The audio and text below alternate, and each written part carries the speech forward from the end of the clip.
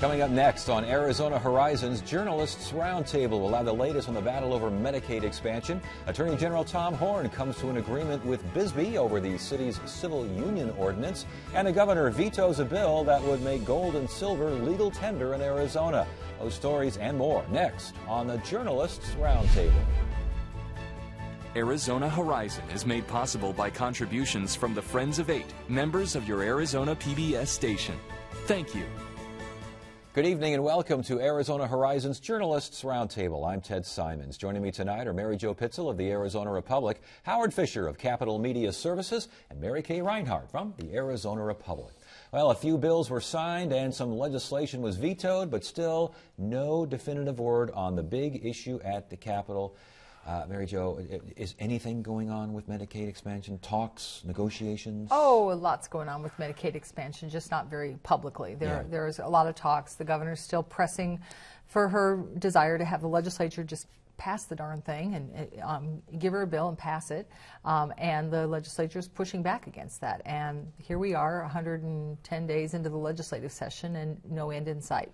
And the problem is that, uh, in some ways, the dust up over the whole abortion thing is is undermining that strength. And as he tries to reach out to to placate that particular group, then you've got Chad Campbell saying, "Well, wait a second, you know, we're not just going to go just go along with anything." And so she's trying to put this jello together, and the mold keeps coming apart. What is the dust up over the abortion thing?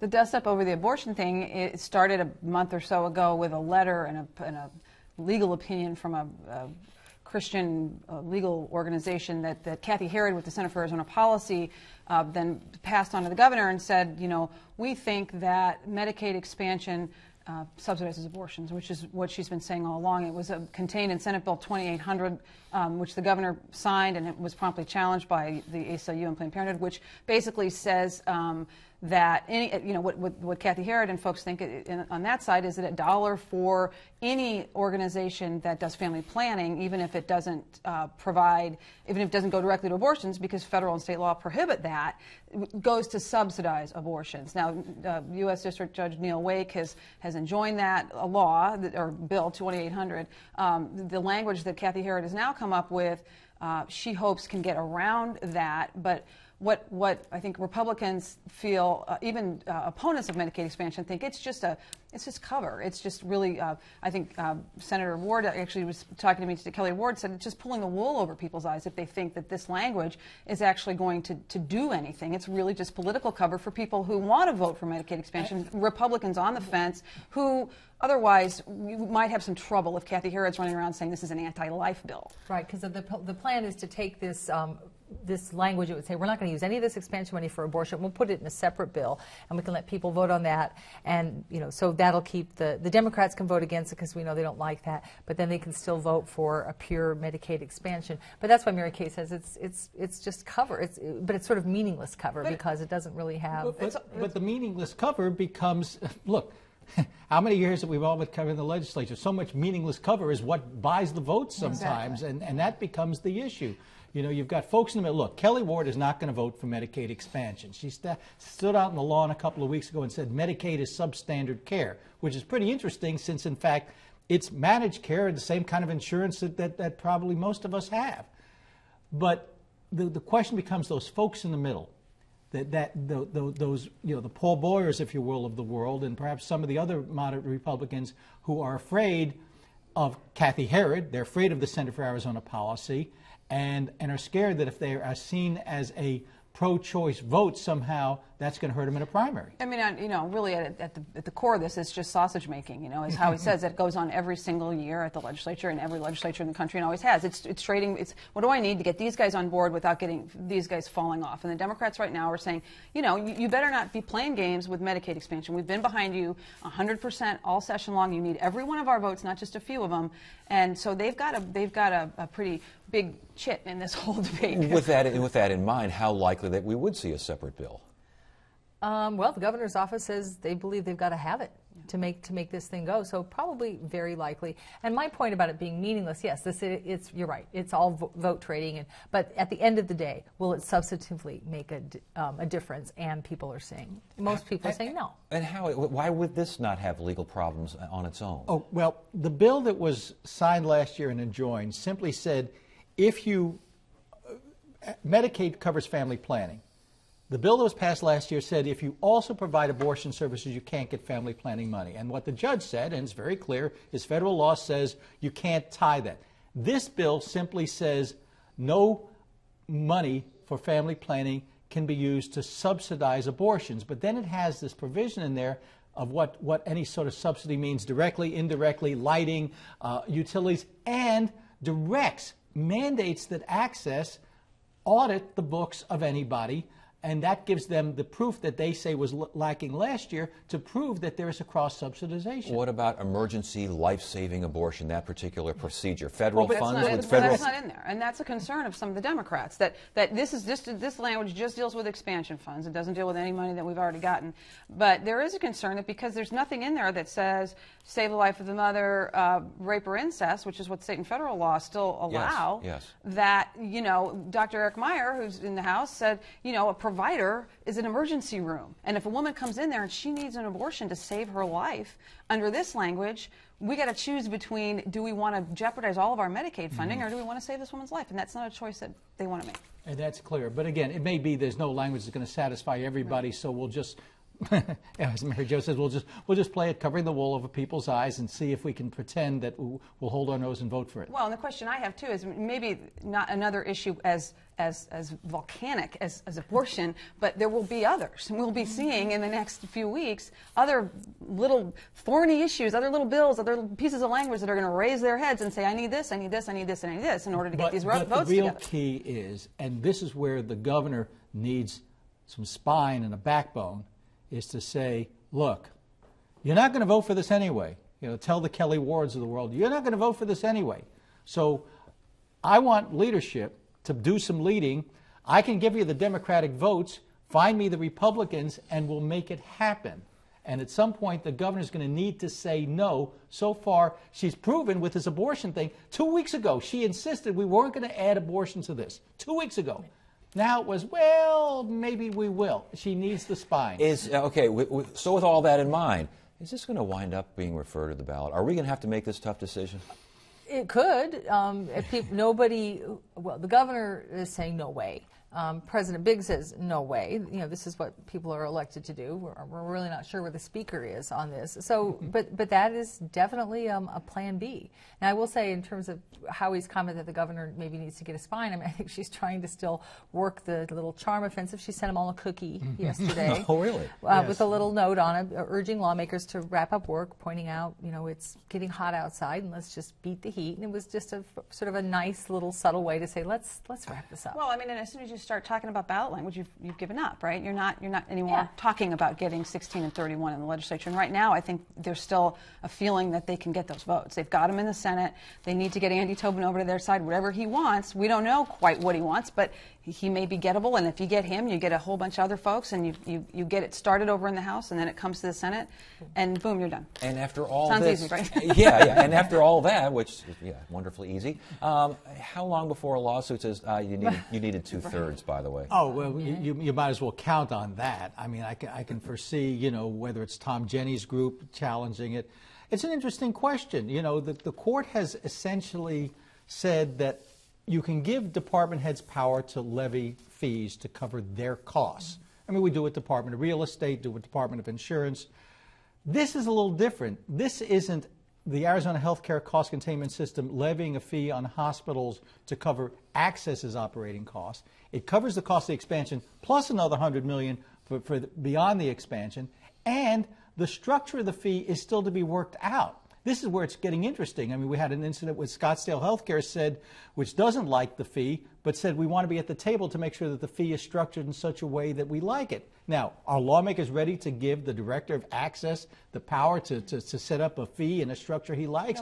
but that's part of the language I think we'll see if this thing keeps moving uh, is some, some language that puts some uh, audit over additional audits or oversights on AHCCCS. There's a big concern about what how we just discussed, which is which is a gajillion dollars basically the, in the hands of, of one state agency, which you know it's really not, but whatever. They want to, they want more oversight. And, but, and this whole debate over is this a tax or not that is another argument for sending it to the ballot. Just let mm. let, let the voters yeah, decide. Yeah. Um, there's a belief that this would have strong well, public support, and you can you know, and, and then lawmakers get cover That's because right. they can say, I didn't vote for a tax increase. In fact, I didn't vote for Medicaid expansion. I just put it out there. But somebody argued folk. to me that the other day that there could be a, a, a, a lawsuit either way.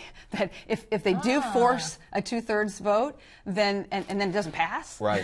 that somebody's going to sue over that and say right. there was no, you know, they didn't need a two thirds. There's one other interim step that I think needs to be taken, and the governor's trying to short circuit it, which is can we get continued federal money for childless adults after the end of the year? Now, the governor said she sent a letter to Center for Medicaid and Medicare Studies and got back not a direct response, but an FAQ. Right. And used that to say, look, we can't do that. Well, that wasn't a direct answer. It may take the governor physically submitting an application, having that application rejected to prove to those folks it, it, you can't well, do it any other way. That's not a small matter to, no. to, to, to, submit that application. She's not about to do it, right? Because she doesn't want it. And mm-hmm. so what, the, what, what Andy Biggs has said is their alternative proposal, the folks that oppose mm-hmm. Medicaid expansion, part of that alternative proposal would be to to require AHCCCS to submit that official waiver request and get an answer for sure one way or the other. All right, so uh, I think we covered that one as far as we can go. We of course, yeah, and the next week we'll probably go over the same ground again. So, what does that tell you about the length of the session and why we're, we're in it, May? it tells me that the air conditioner better be working down there because uh, you guys are going to get warm. All right, let's talk about some things that did happen regarding a veto of a bill that makes gold legal, ten, gold and silver legal tender. First of all, what does that mean?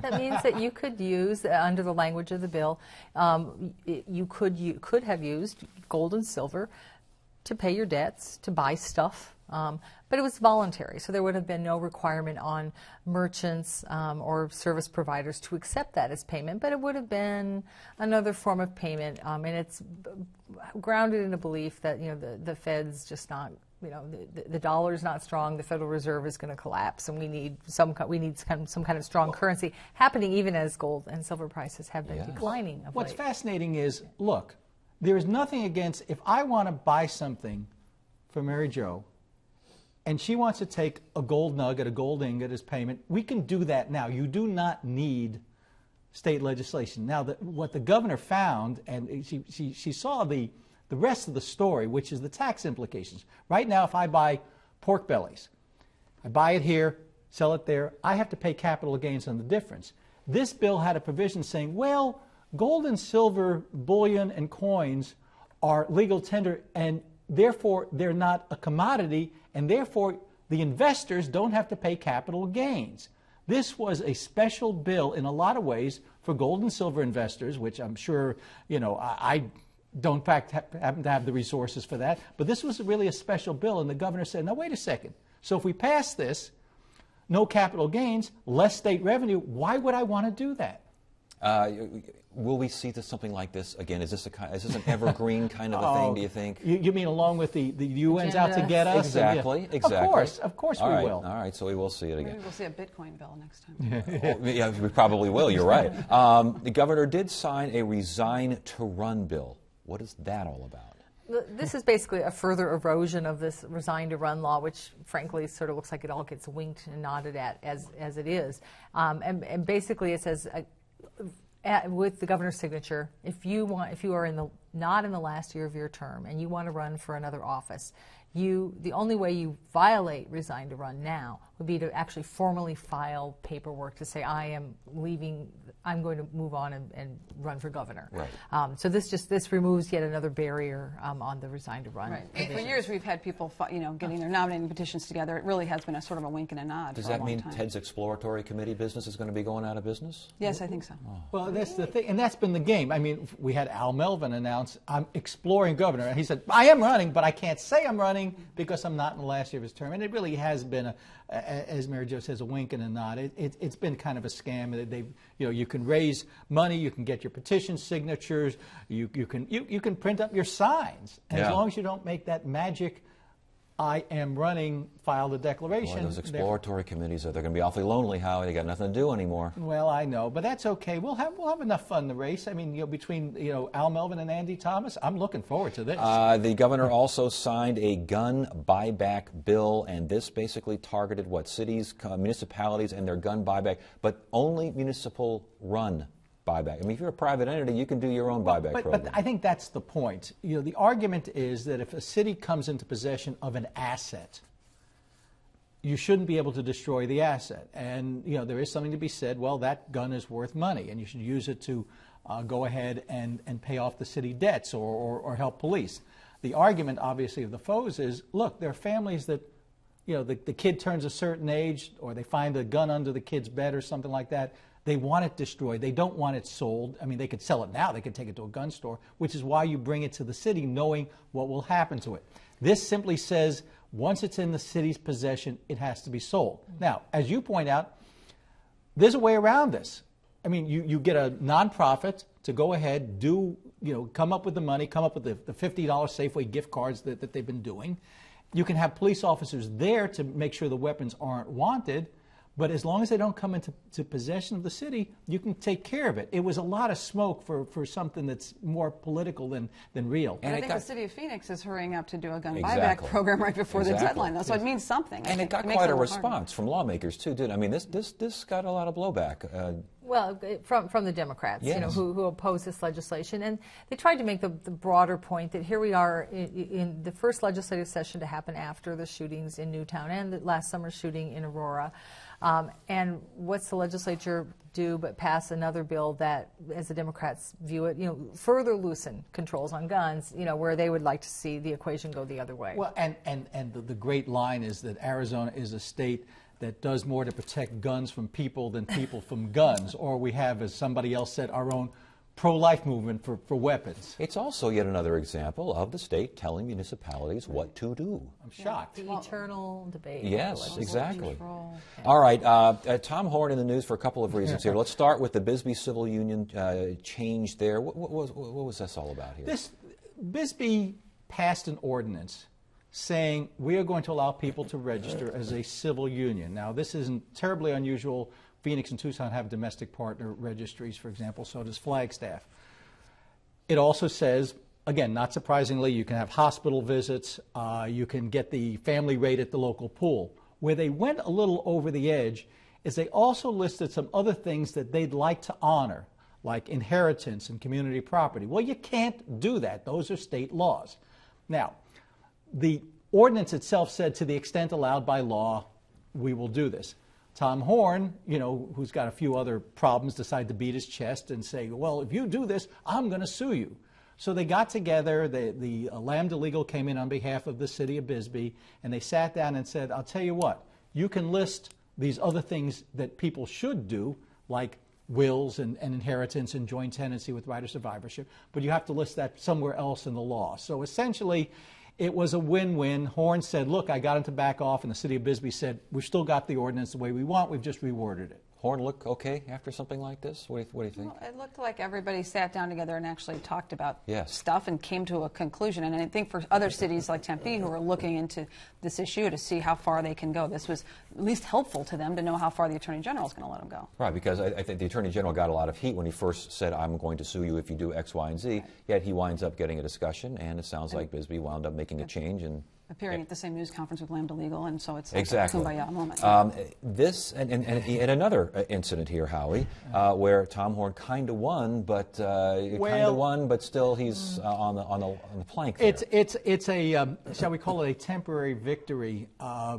this goes back to the 2010 race. Horne was running. Kathleen Winn was on his committee for his primary. Then for the general, formed this uh, Business Leaders for Arizona. It's supposed to be an independent campaign committee, which suddenly Tom's running behind at the last minute because the Democratic AGs are taking an ad against him. They spend half a million dollars, some of which came from some of Horne's uh, in-laws and Yes. brother or something, and they run a last-minute ad, and Horne pulls out a squeaker. Well, as we all know by now, somehow the FBI got involved, followed him around, you know, his gold Jaguar, the baseball cap, and everything else, but nothing came out of that. But what did come out of that was a, a belief that there was enough contact between Horne and Winn to suggest they were coordinating. That runs afoul of campaign finance laws, which say you can't do that. What happened basically, Secretary of State decided, well, law says I'm supposed to refer it to Horne, but that doesn't make sense, so he refers it to Bill Montgomery. Right. The court, what the court said is, look, yeah, we understand there's a conflict there, but you, the law means something. The, you you got to follow the law. You got to give it to Horne. Now, if he decides he has a conflict, and to a certain extent, Mike Kimerer or his attorney is admitting that, he gets to farm it out. Now, the question becomes here is to whom does he farm it out, and what happens? It's not likely to be a Bill Montgomery. oh, it's definitely not likely. he he said And- it'll be over his cold dead body. It'll right, be Bill and, and Montgomery. Montgomery's been told by the judge to, to knock it off. You, you stop right here until uh, further. Yeah. I have one question though. Must Horne refer it out? Uh, well, let, us put it this way: um, if he doesn't, um, I think there would be a state bar complaint against him, and uh, you know that becomes a problem. He clearly has a conflict. The judge said, fact, is one of the things that came out during the hearing, is you know that he thinks that Horne has 1.5 million in conflicts, which is the amount of the fine, Right. If in fact he, he's found guilty. And, and again, this is a technicality. This is this is something that the judge saw, as opposed to the, the merits of the case. It was how this case was handled. With that in mind, uh, a little bit of a slap there against the Secretary of State, a little bit of a slap there against the county attorney. Uh, is Tom Horne a winner in this? In in I mean, he said, "I'm going to do this." He did it, and the judge said, "You're right." Well, I think that remains to be seen, you know. But as yeah, and if he doesn't, if he doesn't um, refer it out, he's he's going to be a big loser because it certainly there's already this established conflict, but because it's him Right. that they're looking into, so he can't. But I think it remains to be seen. I don't. I don't. I think winner is a little strong. It's a little strong, but again, it's, it's another example where he, he says the law. Here's my point. Right. You got a Secretary of State who wants to be governor. Uh, you got Tom Horne, who I think wanted to be governor. Um, but but does the Secretary of State look bad when a judge says you didn't you didn't follow the rules? Yeah, I, th- I think so. I think you know on this, you know, look, Horne won the battle, but the war's still going Yes. on, and it has not been decided. But but the other piece of it, and this is something I'm having my, a hard time wrapping my head around, which is the longer you drag this on, the closer it gets to the 2014 race. He wants to be Attorney General for another four years. You're dragging this on. We have a hearing, which is, keeps getting put back now, is in late May on that hit and run. Um, I don't see anything positive. I think you, you, you deal with it. If you think that you can win, look, he had not only the theory that A, there was insufficient evidence, that the phone calls didn't prove anything, but B, the underlying theory that the campaign finance limits are too low and therefore the whole campaign finance law Right. is invalid and therefore you could have won on that and put it behind you. Well, and, and every aspect of this case, is, as how every aspect of this, as long as it continues, he stays in the news for reasons that he doesn't want to stay in the news. No. And well, we- but and we obviously can- he thinks he can win, and at the end of the day, if he does win, then he's then he has won. Right. You know. He- So then he becomes a winner. then he but, becomes. but, but, but I'm still. But, but even if he legally wins, he can legally beat. Let, us talk the hit and run here. He can say, "I didn't realize I hit the car," you know, anything else because you know the, the damage to the vehicle wasn't that Oh, substantial. come on, government overreach. He uh, was persecuted. He was, there are all kinds of arguments he can make about But- how everybody was picking on him all every- along. Well, you see, was true. Well, was you say? big- You, you saw how well that worked for Andy Thomas. Oh, see, I don't think so. all I think people understand certain things. What they will remember is hit and run, whether how whatever damage, and that he was being followed and was with somebody who was not his I'm wife. not saying it's going to win in re-election. I'm just saying it's better than him saying, "Okay, let's just settle this thing quietly." I don't know. I'm not sure. Yeah, and you know y- your uh, obsession, Howie, on the hit and run. I mean, that's not even what's at issue in this case. Oh, you know. understood, but it's So- part, it's all. It's a public It's a perception. public perception, Right, sure, so, sure. all right. Yeah. Well, all right, we're trying to pick winners and losers here, at least see who won and lost. That's our job. Sometimes it's a little, uh, it's a little difficult to work. Okay, good to have you all here. Thanks for joining us. Monday on Arizona Horizon, we will look at home prices in the valley and why some are concerned that those prices are increasing too much, too fast. And we'll learn about a local organization that houses orphans in South Africa. That's Monday evening, 5:30 and 10 on Arizona Horizon. Tuesday, we'll look at a Phoenix City project designed to cut energy costs and greenhouse gas emissions. Wednesday, it's our weekly legislative update with the Arizona Capital Times. Thursday, legislative leaders will join us for a bipartisan discussion on the issues facing Arizona. And Friday, it's another edition of the Journalists Roundtable. That is it for now. I'm Ted Simons. Thank you so much for joining us. You have a great weekend.